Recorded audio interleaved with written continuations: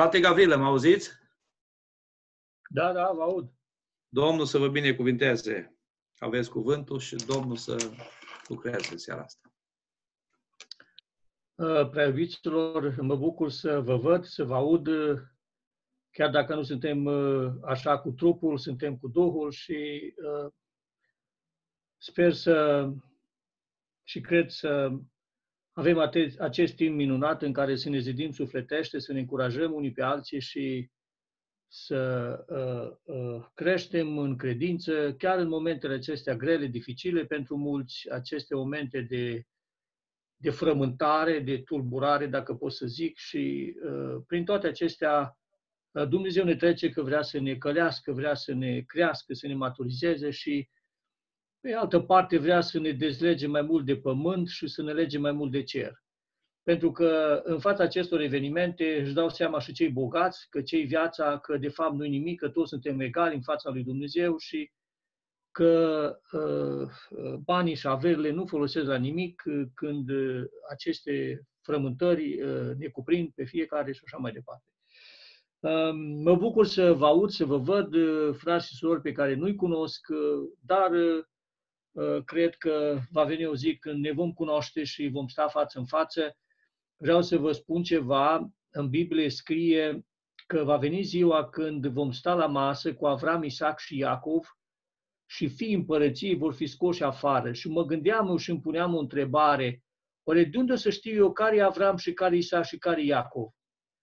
Puterea de interceptare, puterea, capacitatea de identificare, de cunoaștere o să fie așa de profundă, așa de mare încât Uh, cunoașterea aceea pe care o să o am în împărăția lui Dumnezeu și fiecare din noi, o să ne cunoaștem și oameni care nu i-am văzut niciodată, dar o să-i cunoaștem cine sunt, de unde vin și așa mai departe.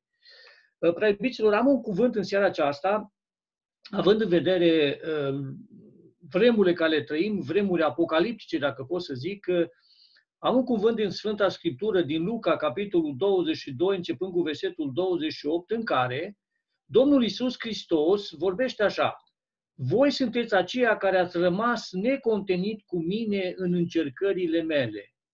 De aceea vă pregătesc împărăția după cum tatăl meu mi-a pregătit-o mie, ca să mâncați și să beți la masa mea, în împărăția mea, și să ședeți pe scaune de domnie și să judecați pe cele 12 semenții al lui Israel. Amin. Acum, prea iubiților, vreau să vă spun că datorită acestui fapt, Iisus Hristos, înainte de patima lui, după ce a avut cina de taină în care uh, se face acea mare descoperire a vânzătorului și ucenicii au fost așa de dărâmați, când au aflat atunci că unul din ei, 12, este un trădător și un vânzător. Și în momentul acela vă dați seama ce s-a produs în inima lor, în sufletul lor, iar Domnul mai apoi îi încurajează și le vorbește și le spune voi sunteți aceia care nu m-ați părăsit niciodată și ați fost lângă mine în încercările mele. Prin toate probele prin care am trecut, ați rămas cu mine. De aceea vă pregătesc împărăția după cum și Tatăl mi-a pregătit-o mie. Vreau să vă spun că ce e important, să rămâi lângă Dumnezeu, să rămâi aproape de El și la bine și la rău spunea un poet într-o cântare, sunt vesel la bine și rău, sunt vesel cu Iisus mereu. Cărarea spinoasă în curând s-a sfârșit.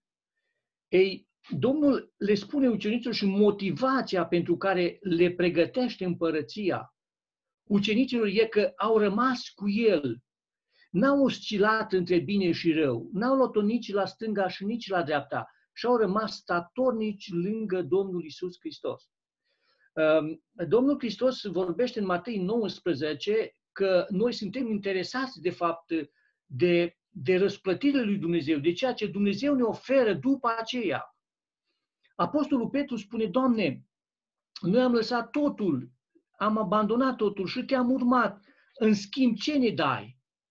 Și Domnul le spune, adevărat vă spun că atunci când va veni Fiul omului cu sfinții săi în slava sa, Zice, și voi veți sta pe 12 scaune de domnie a lui Israel și veți judeca semențiile. Și cine a lăsat pentru mine tată, mamă, holde și așa mai departe, va primi însutit aici mai mult de 100 de ori. Și apoi, pe lângă aceasta, și viața veșnică. Motivația pregătirii împărăției pentru ucenici era că au rămas cu Domnul. Au rămas și la bine și la rău.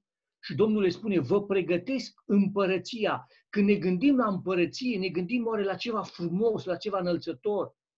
Ucenicii nu știu dacă au înțeles când le-a spus că le pregătește o împărăție.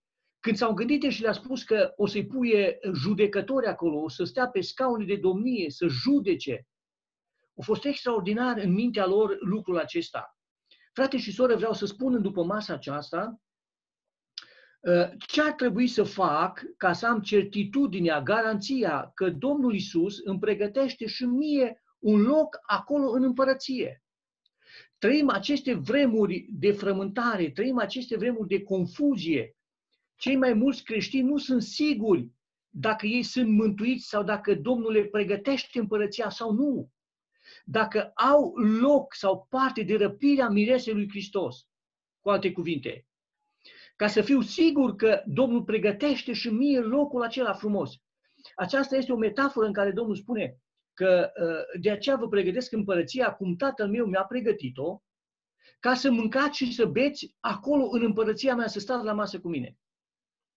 Sigur că noi oamenii ne gândim că cea mai mare bucurie, împlinire, plăcere, oamenii să trăiască bine, să ai de toate, să mănânci tot ce îți dorește inima, sufletul, trupul și așa mai departe. Cred că conotația acestui cuvânt, când spune Domnul, o să stați la masă cu mine acolo și să, să, să serviți la masă, să mâncați și să beți în împărăția mea. Cred că pentru toți oamenii a mânca și a bea este cel mai înălțător lucru, cel mai frumos, este cel mai împlinit. Vreau să vă spun că uh, această metaforă pe care Domnul Hristos o folosește, Apostolul Pavel în Roman, capitolul 14, cu versetul 17, spune ceva de împărăția lui Dumnezeu. Dacă noi suntem în căutarea bunăstării, a fericirii, a bucuriei, a împlinirii, cu alte cuvinte, să atingem apogeul bucuriei și a fericirii, este pus în gena noastră. Spune Eclesiastul că Dumnezeu a pus în noi și gândul veșniciei, a eternității. De aceea, toate fenomenele care le derulăm în viața noastră, neajunsul, suferințe, boli și așa mai departe, toate ne frapează, ne, ne, ne uh, lovesc în suflet și tendința aceasta de a obține fericirea, bucuria supremă există în noi. Iar Pavel traduce, de fapt, cu alte cuvinte, ce este împărăția lui Dumnezeu. În împărăția lui Dumnezeu, spune Pavel, nu este mâncare și băutură. Și asta spuneam, uh, tendința noastră de a fi fericiți, de a fi împliniți, de a fi bucuroși, nu am, uh, nu am uh, un studiu și nu pot să îmi dau măcar un procent la sută câți oameni sunt fericiți în lumea asta. Câți oameni sunt împliniți în lumea aceasta. Dar vreau să vă spun ceva, preiubiților, în seara aceasta, că acolo, în împărăția lui Dumnezeu, toți cei care vor ajunge acolo vor fi fericiți, vor fi împliniți. Și spune că în împărăția lui Dumnezeu nu este mâncare și băutură, și este pace, Ceea ce le lipsește oamenilor aici este pacea. Frământările în fiecare zi le răpește pacea. Este pacea, neprihănirea. Știți când, câți oameni suferă din cauza păcatului, din cauza uh, uh, uh, căderii, din cauza ispitelor, din cauza că îi apasă conștiința de lucrurile pe care le fac păcătoase și rele. Și faptul acesta le ia bucuria, le ia pacea. Dar în împărăția lui Dumnezeu nu este așa nu este tulburare, nu este frământare. Nu, păcatul nu își face efectul pentru că nu există păcat acolo. Și împărăția lui Dumnezeu este pace, neprihănire și ultimul cuvânt, ultima expresie este bucurie în Duhul Sfânt al lui Dumnezeu.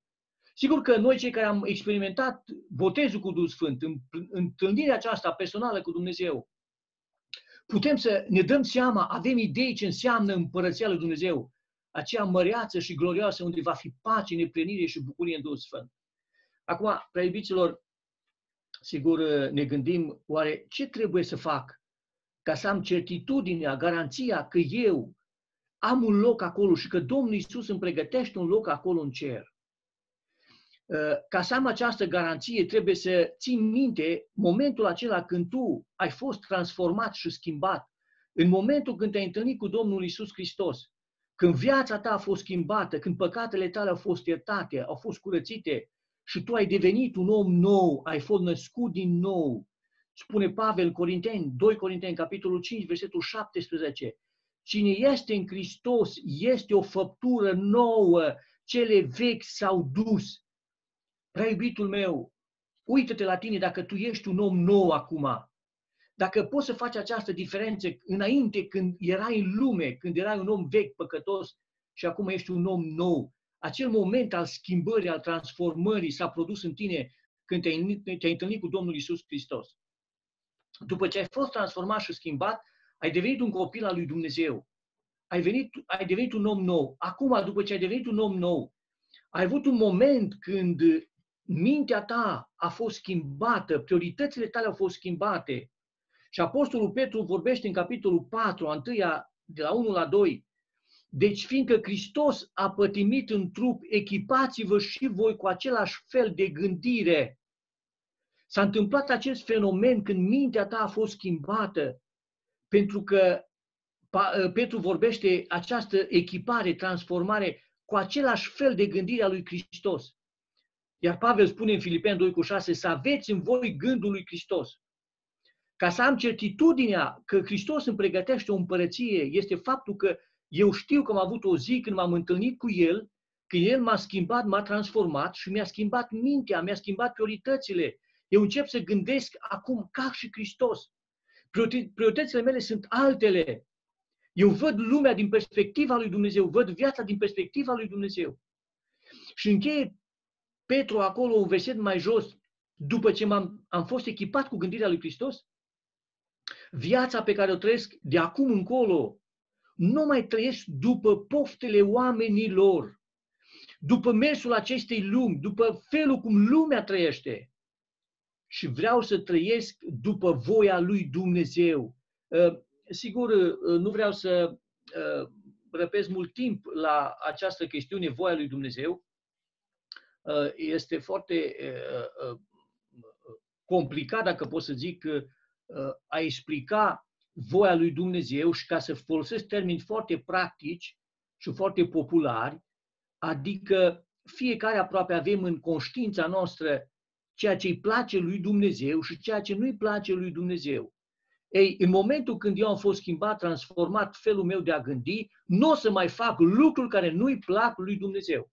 De exemplu, cei căsătoriți, bărbații, așa că când faceți lucruri în casă lucruri care le deranjează pe soții, așa că ele vă avizează de multe ori și imediat reacționează și spune, ă, Gavrilă, ă, Ioane, Daniel, te rog să nu mai faci lucrul ăsta, că nu-mi place, mă deranjează. Și încep, încetul cu încetul, încep să te adaptezi, să nu mai faci lucruri care nu-i place soției. Și la fel soția. Ei, așa este cu Dumnezeu. Momentul când a fost schimbat, transformat, nu o să mai fac lucruri care nu sunt conformitate cu plăcerea lui Dumnezeu.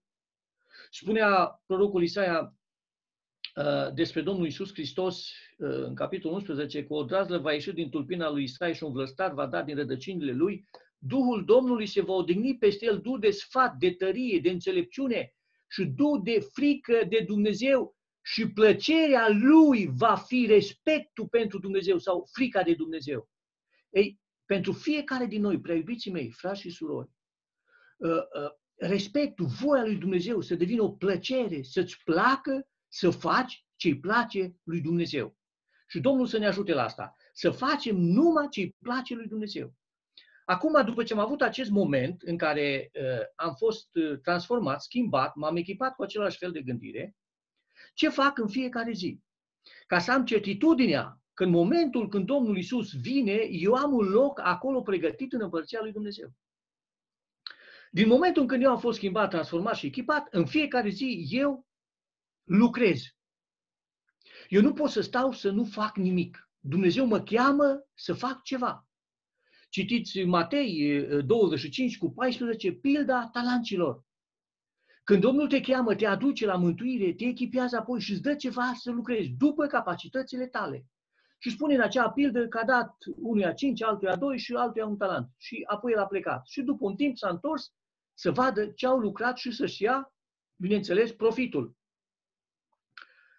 Observăm că primii doi au lucrat și au adus randament. Al treilea, care a primit un singur talent, spune stăpânul, l-a chemat să-și ia profitul. Și spune al treilea rob, slujitor, ă, părinte, stăpâne, am știut că ești aspru, că ești dur și mi-a fost așa de frică ca nu cumva să pierd și acest talent și ca să fiu sigur că nu o să-l pierd, l-am îngropat și acum ți-l doresc înapoi. Observăm că stăpânul uh, nu apreciază și condamnă vehement această atitudine acestui rob. Uh, nu faptul că uh, el n-a fost capabil să pună negos talentul, că de multe ori spunem noi, Doamne, știi, să facă altul, să slujească altul. Eu mai la urmă, așa, dacă mai îi loc, o să mai fac, dacă mai trebuie, dacă chiar nu-i cine, o să fac și eu.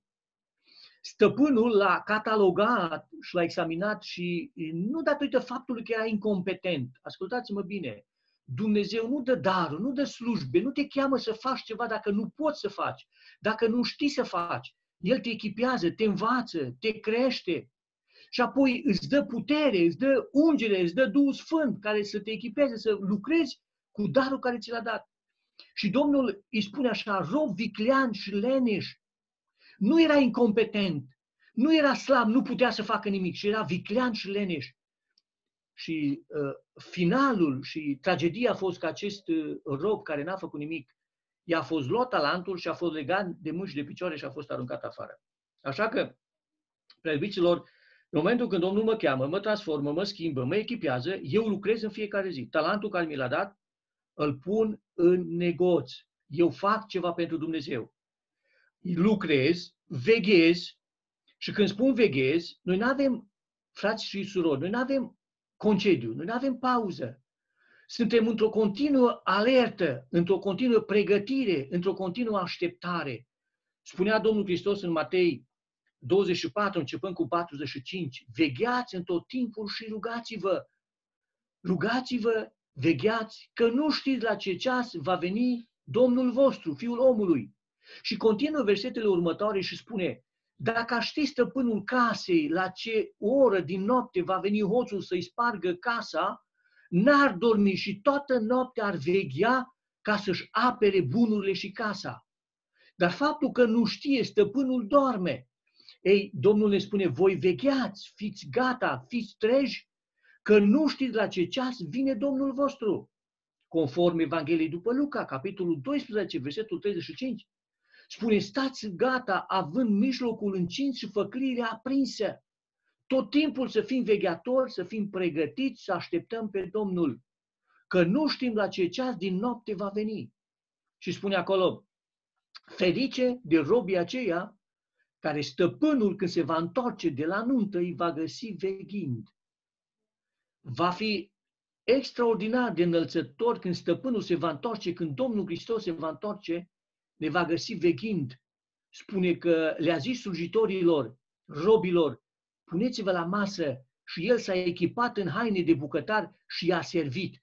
Acolo, în împărăția lui Dumnezeu, asta se va întâmpla. Regele regilor, Iisus Hristos, Domnul domnilor, pentru faptul că ai fost vegheator, pentru faptul că ai lucrat și ai vegheat și așteptat ziua aceea pregătit, Domnul te va pune să stai la masă acolo cu Avram, Isaac și Iacov și El însuși se va încinge și ne va servi. Și zic la aceasta, Doamne, ajută-ne! După ce veghem, suntem în alertă, în veghere, apoi așteptăm momentul ăla. Așteptăm momentul revenirii Domnului Isus Hristos. Noi am muncit, veghem, pregătiți și așteptăm momentul. Este un verset într-o cântare, prea iubiților, e grea vegherea fără har, ca lupta fără arme.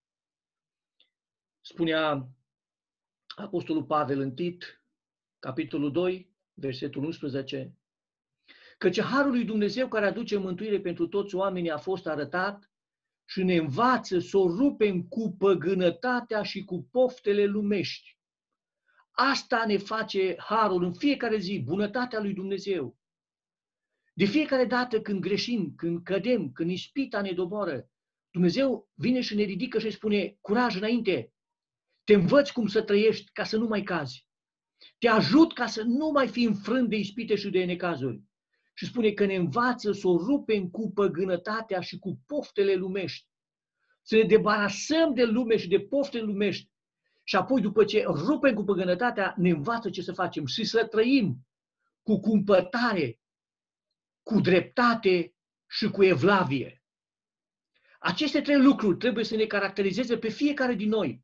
Să avem certitudinea că Iisus Hristos ce le-a spus ucenicilor, mă bucur de voi, vă apreciez ucenicilor, că ați rămas cu mine necontenit în necazurile mele. A rămânea, preiubitul meu, credincios lui Dumnezeu, și în furtună, și în necazuri, și când nu-ți merge bine, și când ai pâine, și când ești bolnav, și când ești în spital, și când ai atâtea, să rămâi credinciosul lui Dumnezeu, așa le-a spus Iisus ucenicilor. Pentru faptul că ați rămas cu mine în necasurile mele, vă pregătesc împărăția.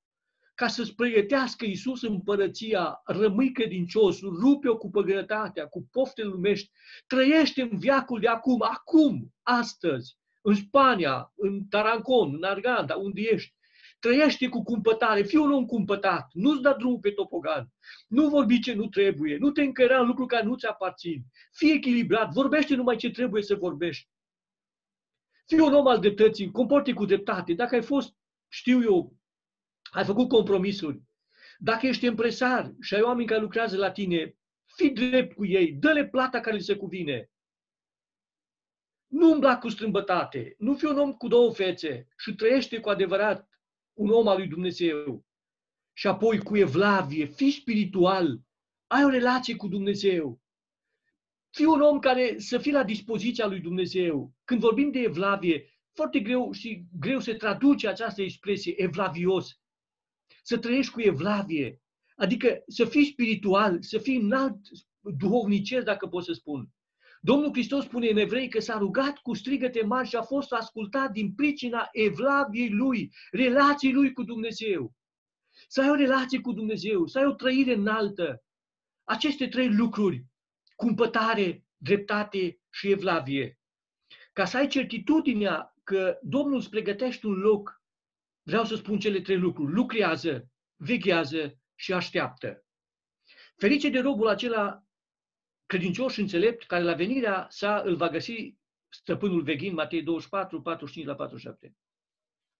Încă ceva vreau să vă spun, să nu cumva să, să înfilipezi acest gând că vei putea și în stânga și în dreapta. Spune Domnul Hristos Matei 6 cu 24 și vreau să spun în seara aceasta, niciodată să nu crezi cumva cineva să-ți șoptească aceste cuvinte că vei putea sluji la doi stăpâni vei putea să fii și pocăit și nepocăit. Și cu Dumnezeu și cu lumea. Așa de tranșant e Domnul Hristos și spune așa, nu poți sluji la doi stăpâni. Ori vei iubi pe unul și vei socoti pe celălalt, ori reversul. Așa că delimitează-te. Dacă ai avut o viață dublă și ai cochetat și cu lumea, și cu păcatul, vreau să spun ceva.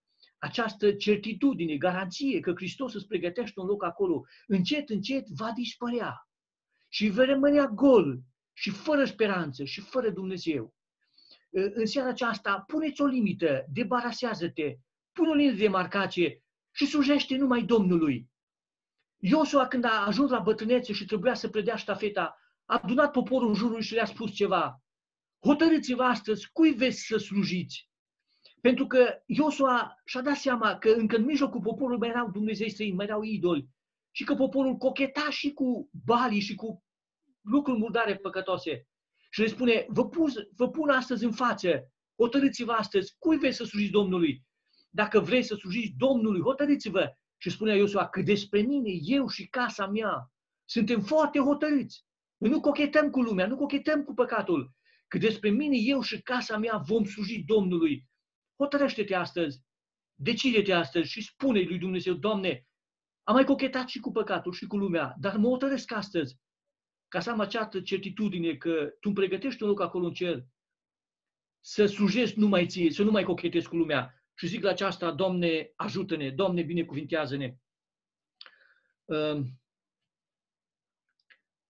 Când vorbim de împărăția lui Dumnezeu, sigur, avem atâtea expresii în Biblie în care Domnul Isus începe prima predică a lui în Matei 4 cu 17, în Capernaum, în țara lui Zabulon și a lui Neftali, și spune, pocăiți-vă căci împărăția cerurilor este aproape.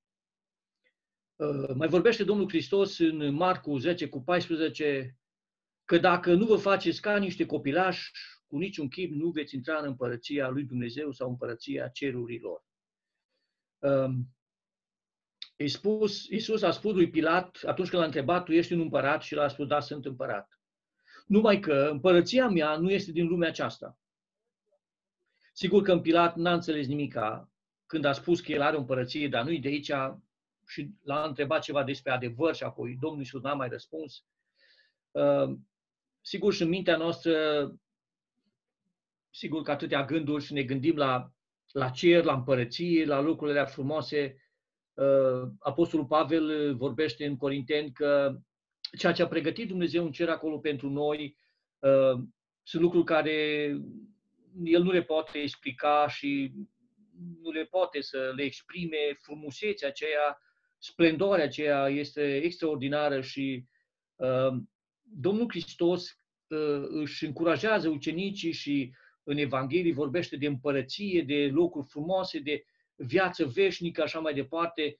Uh, uh, în Ghețiman, Domnul Hristos, când se rogă, uh, vreau să spun ceva, că te-a avut în vedere și pe tine și pe mine pentru că s-a rugat și a spus, Tată, vreau ca acolo unde sunt uh, eu, uh, împreună cu mine, să fie și aceea pe care mi-ai dat Tu, ca să vadă slava mea pe care, sau slava pe care mi-ai dat-o Tu și care aveam la tine altă dată.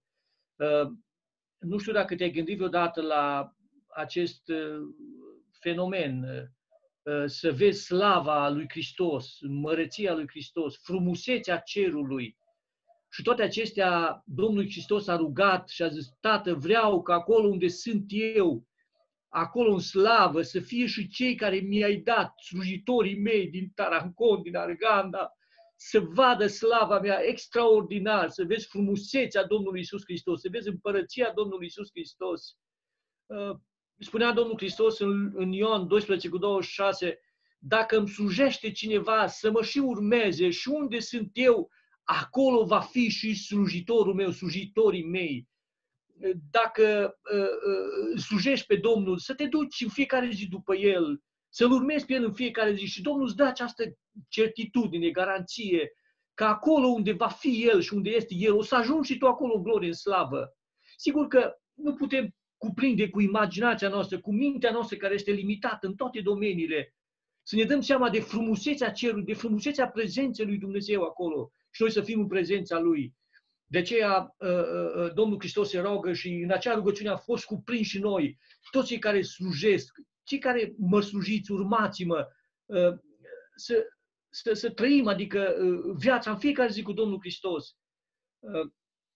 Vreau să vă spun, prea iubiților, un om din Vechiul Testament, Moise, care a fost un mare lider, un mare om al lui Dumnezeu, Dumnezeu l-a folosit într-un mod miraculos, l-a luat, l-a salvat din Nil, într-un mod special, l-a crescut în casa lui Faraon, a învățat toată înțelepciunea Egiptului și dar n-a putut accepta niciodată că în venele lui este sânge de egiptean și a știut în venele mele este, este sânge de evreu, eu sunt evreu, eu am un Dumnezeu. Și după 40 de ani Moise râvna lui a încercat cumva să facă ordine, iar Dumnezeu îl îngăduie și pleacă în Madian, stă 40 de ani, Dumnezeu îl cheamă înapoi în Egipt și îl folosește într-un mod miraculos, scoate poporul afară.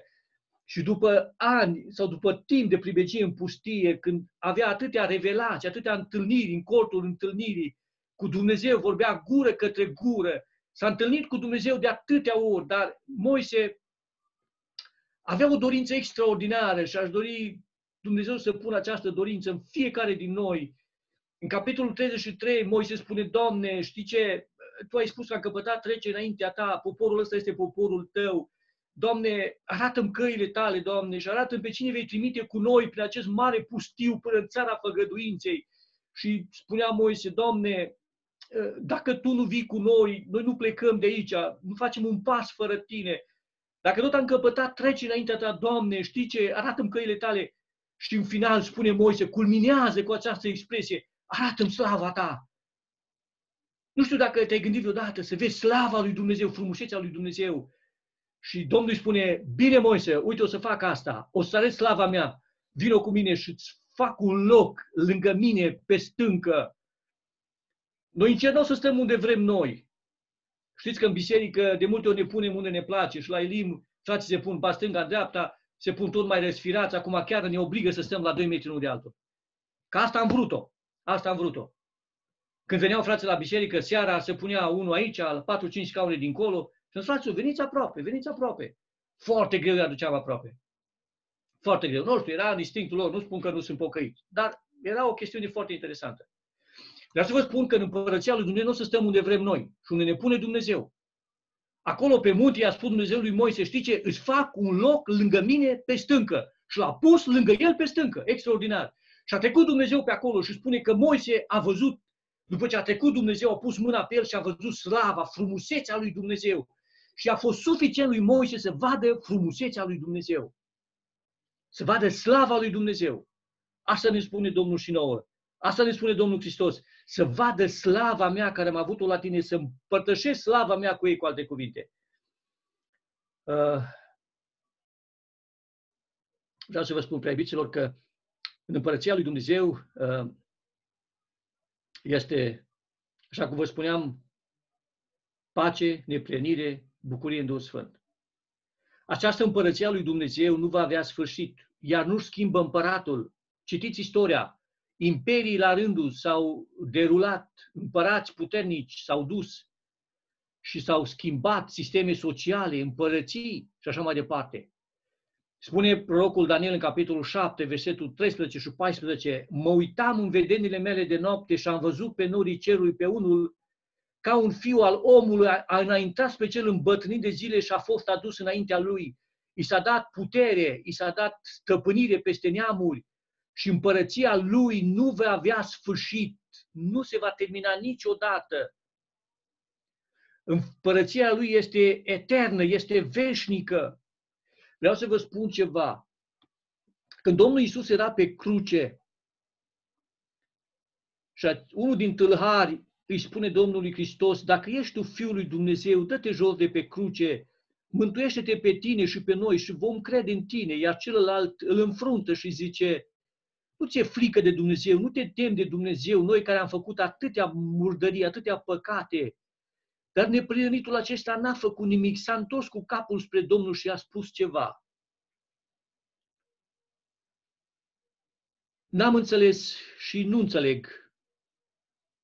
Această expresie înălțătoare din gura unui tâlhar pe cruce, care nu știu dacă s-a dus vreodată la sinagogă, dacă s-a dus vreodată în templul la Ierusalim, dacă l-a învățat părinții lucruri bune, l-a învățat de Jehova, de Dumnezeu, dar în agonia morții s-a întors pe Domnul și a spus ceva. Doamne, știi ce? Aduți aminte de mine atunci când vei veni în împărăția ta. Un tâlhar pe cruce a recunoscut că Hristos va reveni din nou în împărăția Lui și a spus ceva în ultimele momente, nu uita de mine, aduți aminte de mine că am stat pe cruce lângă tine și m-am pocăit în ultimul ceas.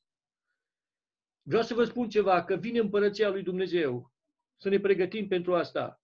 Să ne pregătim și să ne pocăim. Vreau să vă spun încă ceva, fraților. Dacă împărăția lui Dumnezeu, în care Biblia ne-o descrie într-un mod așa de înălțător și de frumos, slava Domnului Isus Hristos, slava lui Dumnezeu, să nu uităm că în Împărați, un Împărați, capitolul 10, 6 la 9, împărăteasa din Seba a auzit de strălucirea lui Solomon, de slava lui Solomon. Și a fost așa de mișcată și a dorit așa de mult să vadă uh, pe acest împărat cu înțelepciune și slava lui. Și a făcut călătorie și a mers kilometri întregi până la Ierusalim să-l vadă pe Solomon și spune, când ajunge acolo, zice, eu am auzit de tine, de tot ce e aici, dar acum ce văd eu, ce a ajuns la urechile mele, nici jumătate din ceea ce văd.